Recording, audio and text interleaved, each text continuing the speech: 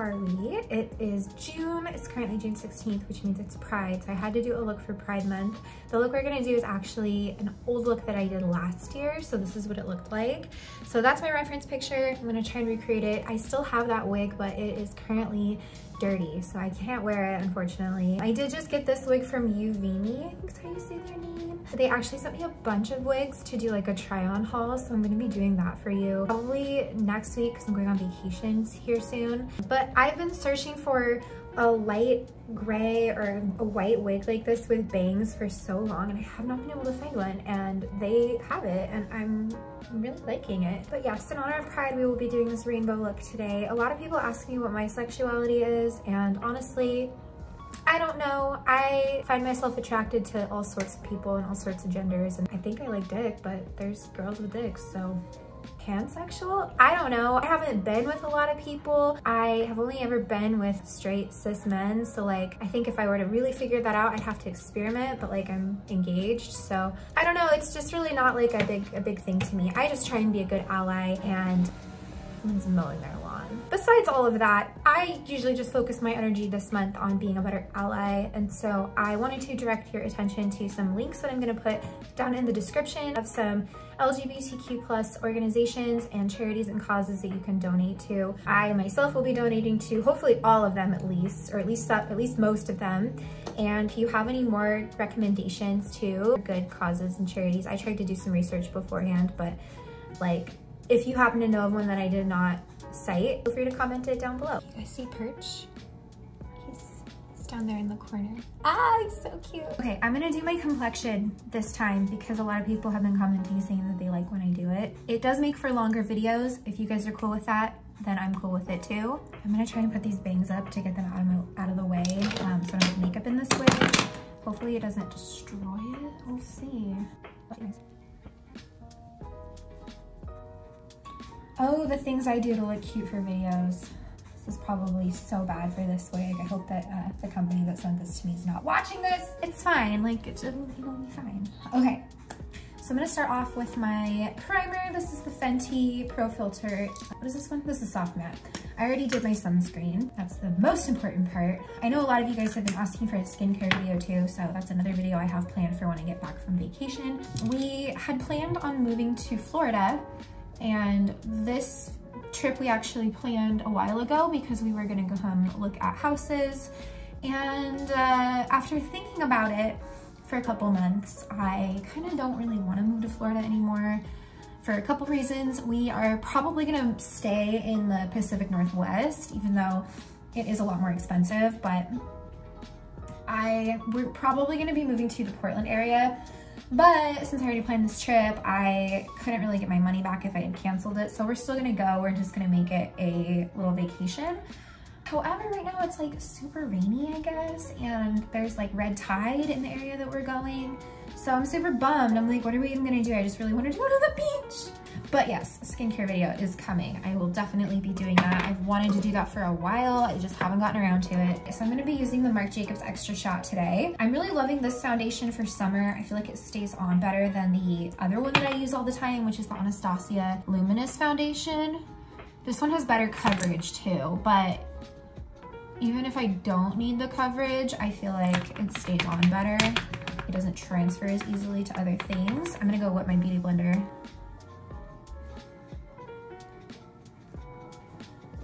Might have to go make an iced coffee.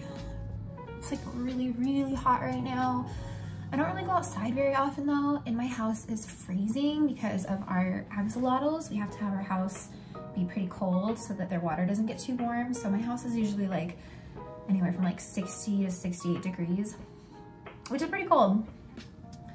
But I do have my window open right now and I can tell it's hot as fuck out there. So many people ask me for foundation tips and despite being trained as a makeup artist, I feel like the best thing you can do to make your foundation look good is to just make your skin look good. Your foundation is only gonna look as good as your skin. That is a phrase that I hear all the time working as a makeup artist, and it's true. Like, your skin doesn't look good, it's actually pretty hard to cover that up, especially like texture and like bulky like things. Like that's, it's pretty easy to cover like redness and stuff like that, discoloration, but like acne, textures, scars, like those things are a lot harder to cover. Also, if you if your skin's really dry, like um, dry patches are really difficult to cover and your skin can actually absorb the moisture in your foundation and that'll create like this like weird separation effect. So I think skincare is like so, so, so important and it's really the only reason that my foundation looks this good and it's the only reason that I don't have to use like multiple layers of foundation and concealer and powder and baking and all that crap. Okay, so I'm gonna do my concealer real fast, speaking of. This is just the Tarte Shape Tape in shade 8B. My Marc Jacobs, if you're curious, is shade 130.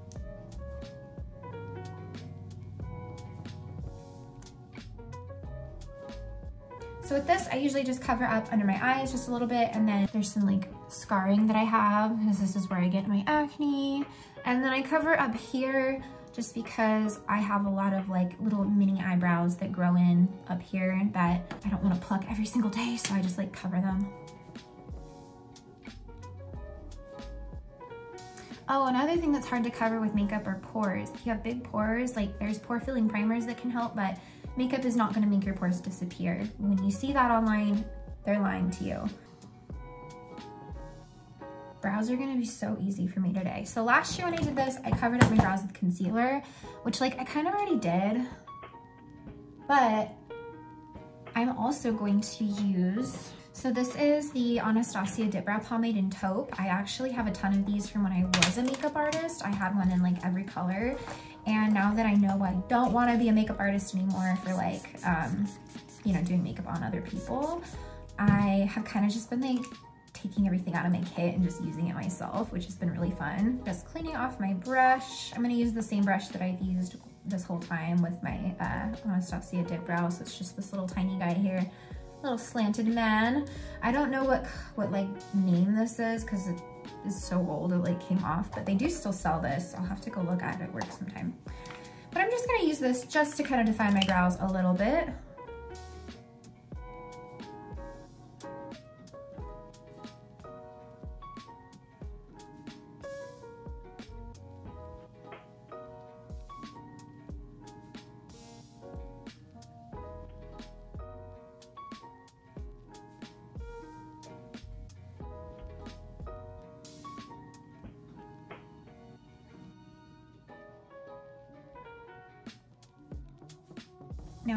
Concealer to just clean up the edges. I already did this side because this side was really bad.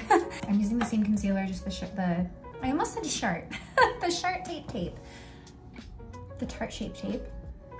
And I am using this little brush from, this is either Morphe or Anastasia, I don't know, it's not labeled. So, but it's just a flat brush like that. And I just put some concealer on there and very carefully outline my brows. So I always start, I have concealer on both sides of this brush. I always start in the inner side.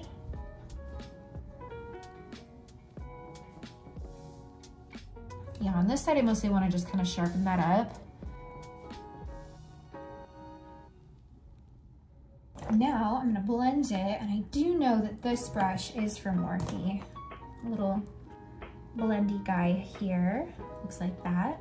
And this I got out of a kit.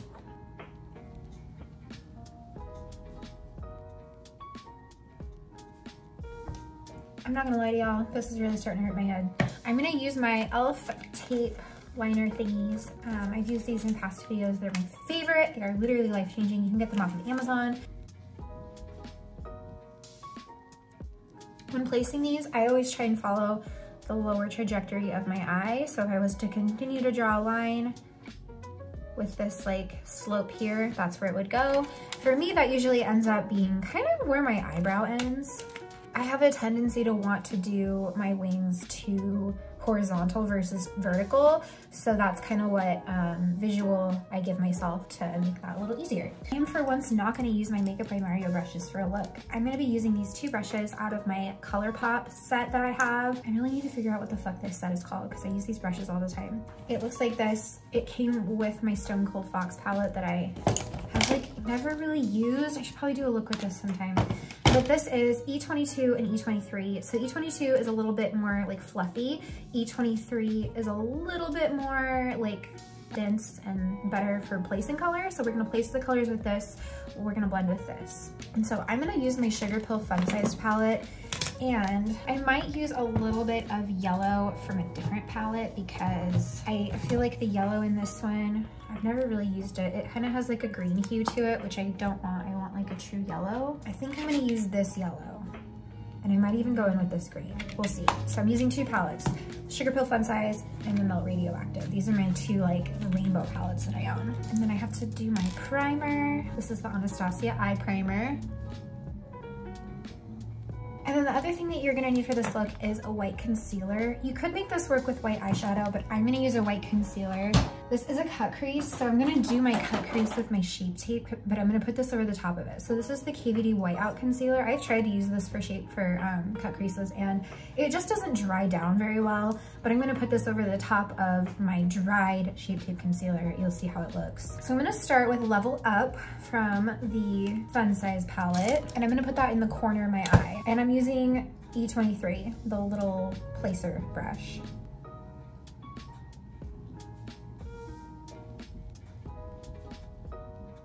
And then I'm gonna go in with E22 and blend that. And that's kind of gonna be what I'm gonna do for this whole look, is just going back and forth. Since this is a cut crease, I will be bringing these colors up pretty high. If you haven't watched my other cut crease videos, I don't cut my crease where my actual crease is. I take it up pretty pretty far because my eyes are pretty small and I want to give the illusion of larger eyes. So it looks like the next color I used was purple. So now I'm gonna do player one, from the Fun Size palette and I'm kind of like wiping my brush off. I have a towel down here, but if it still has some color on it, it's fine.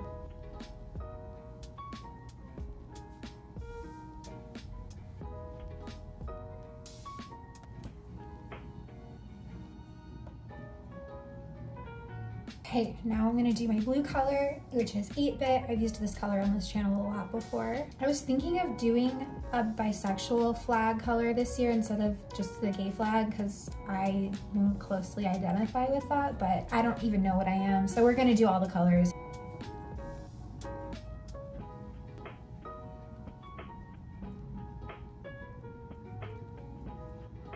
So as you can see, I'm going to be trying to create that like wing shape.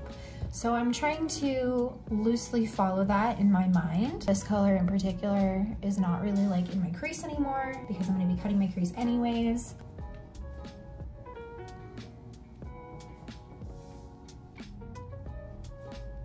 I'm gonna add a little bit more purple to this. This is kind of like a adjusting as you go kind of look because some colors will kind of overpower each other and you'll just have to go back in and add color where you see fit. Now I'm gonna go in with Cheat Code, this like teal green color up here.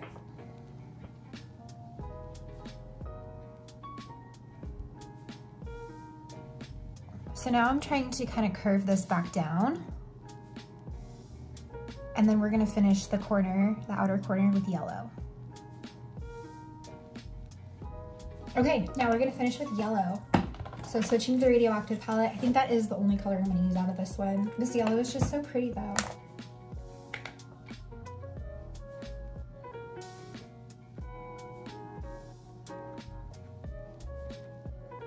So this is what we have so far. It looks super cute. Now we're gonna do our cut crease. I just went and looked at the picture and I'm actually gonna take my pink shade down a little further into my inner corner just so that it matches more um, the shape that we're gonna create.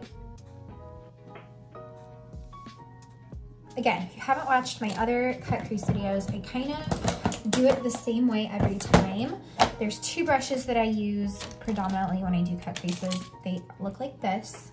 This is my bigger one. Um, it's my smaller one. I haven't cleaned this one off yet. They do not have a brand. I have no idea where these came from, but I use them all the time for cut creases. So I would just use a small, flat, dense brush with kind of a rounded tip. That'll give you the most control. You definitely don't want to use any sort of like fluffy brush for this. And I always start with my bigger brush. So I'm using my Shape Tape again. And I always kind of start in like this region right here when I do this.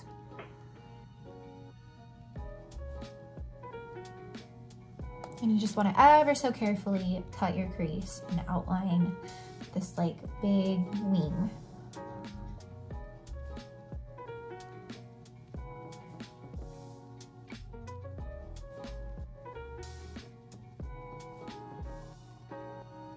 Okay, when I start to get down here, I usually switch to my other brush because it's a lot smaller and I don't wanna screw this up.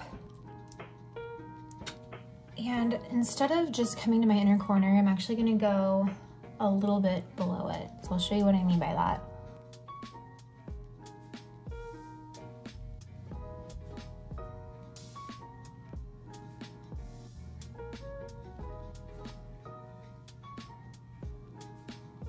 This is like really difficult actually. Props to me for doing this last year, cause fuck.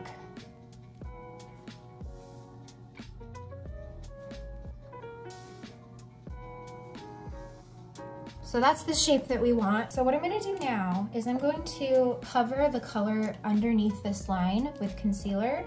You don't really have to do your whole eye because we have eye primer that's on. So like the shadow will stick here, but we just wanna cover up that color.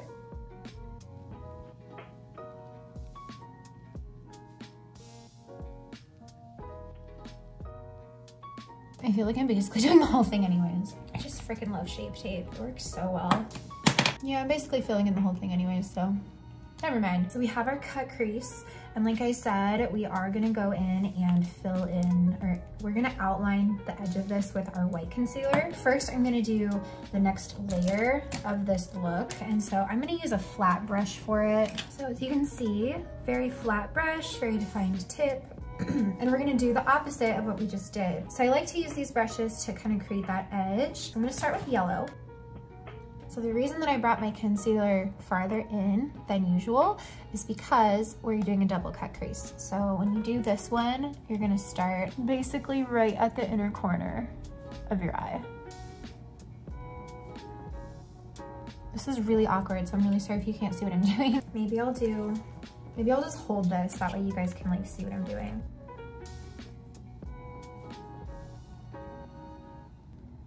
So as you can see, I left a little bit of a gap there. You can fill the whole thing in if you want to, but since I'm just gonna put like white concealer there, I might as well save myself the work. Now I'm gonna go in with my cheat code, my little teal shade, and I'm just using the same brush. I'm just like kind of wiping off the extra.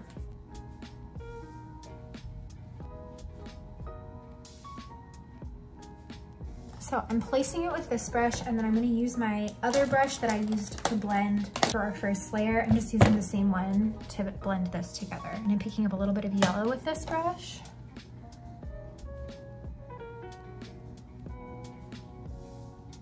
I'm actually gonna take a little bit of the green shade Xenon out of the Radioactive palette and see if that makes this a little easier to blend. Yeah, I like that better. Okay, adding the Xenon shade really helped. So I didn't use this the first time around, but I went and blended that in between these two colors. I don't know why I didn't really need it the first time, but whatever. So this is what it looks like so far.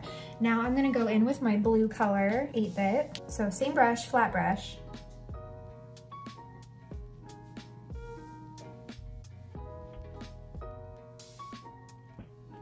Now going in with player one, purple shade. We're almost done. Oh my gosh.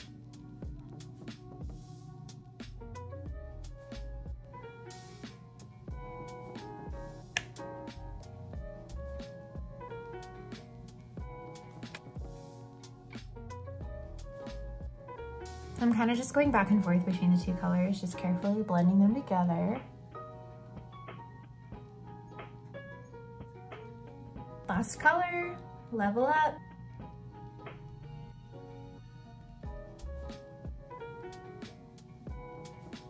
I'm gonna do my white concealer. So again, this is the whiteout from KVD. This is just a little pointy brush from Morphe. And now we're gonna just highlight this line we've created with white.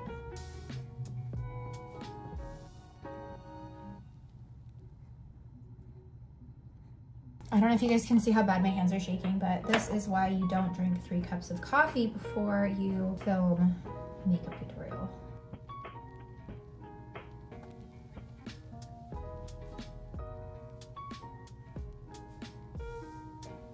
Ended up bringing this further down and making like a little inner liner thing. And I did it on the other side too. And I did put a little bit more pink underneath it. So I'm gonna show you guys that. Just with my flat brush. And now I'm gonna take off these little liner tapes and then we're gonna do underneath, we'll do our lashes, um, lipstick, and that's pretty much it. Oh, and blush. I could not deal with that headband anymore. So I took off the little tapes and then I just went in with a little bit more concealer and kind of just like covered up the spot of makeup where all of the tape where the tape took off my makeup. So now we're gonna cover, we're gonna do our lower lash line. So I'm gonna use my e.l.f. crease brush. I use this thing all the time. Since we already have pink here, I'm gonna go in with player one.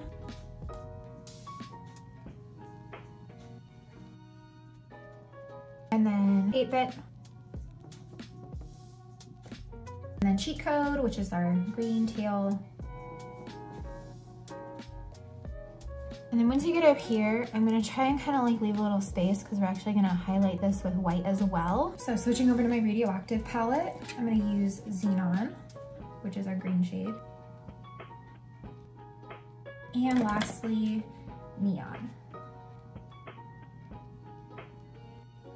And then last step with our eyeshadow, we're gonna go back in with our little tiny guy. And if you wanna use the tape for this, you can. I'm not going to, but I have a lot of practice with eyeliner, so I'm pretty good at it. Every time I say that, I fuck it up, so I should just shut up.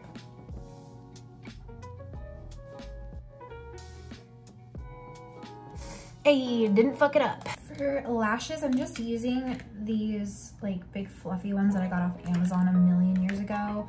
They don't have like a brand, so I don't know. And they're too big for me.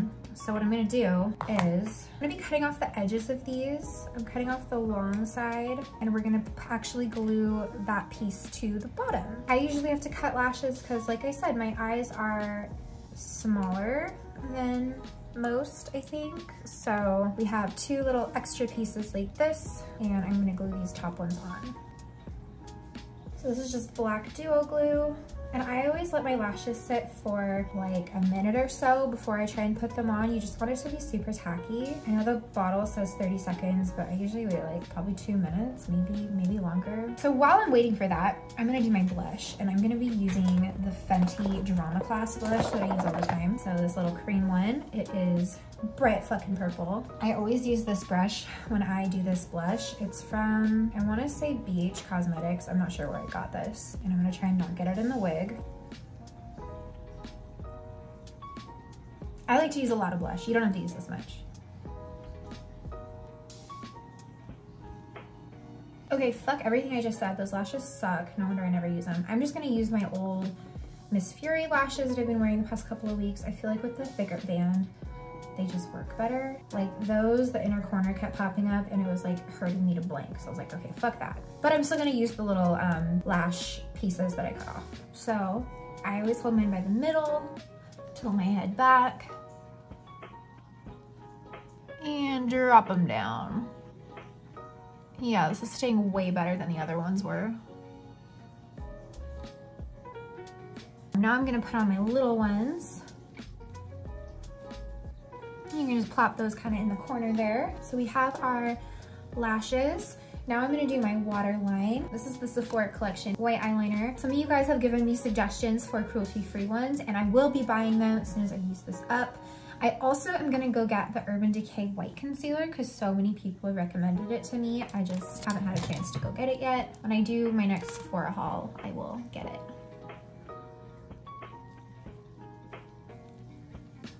And I was gonna try and put on some like neutral lipstick, but I cannot find like the only neutral lipstick I own. So I'm not even gonna do lipstick today. I just put a little bit of lip oil on. For highlight, I'm gonna use the Anastasia Dream Glow Kit and I'm gonna be using shade Ethereal, my favorite purple shade. And I'm gonna top that with Diamond Bomb from Fenty because I just really want this to pop. My Diamond Bomb is a mess, if you can see that, because I took it on a plane with me and that was a bad idea. Now when I do this, I pick up literal chunks, but it makes for um, a very good highlight actually. So I was gonna do my contacts, but I decided not to because I just kind of like it like this. But I did put on my little horns. I got these white ones as clips, so they were attached to little clips and I ripped them off the clips for the look last year. I just glued them to my forehead, but obviously I can't do that with bangs. So I glued them to this headband instead that I happened to have. And guess what I glued them with? If you guessed eyelash glue, you are correct. And, the, and it worked. Oh, I love that. So yeah, this is the whole look. It's super cute. I love this wig actually. Like I feel like this would make a really good Sophie from Howl's Moving Castle cosplay, but you know, this is cute too. So yeah, that's all for me today, you guys. I hope that you have a fun and safe pride and uh, yeah, bye. I lied, I did decide to put them in. So this is what it looks like. And they're from Pinky Paradise, by the way. I have an affiliate code. It'll be down below. Okay, bye.